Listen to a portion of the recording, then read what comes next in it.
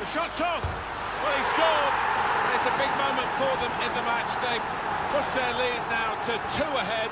They've played well to this point, but sometimes a two-goal lead can be a dangerous one. We'll see.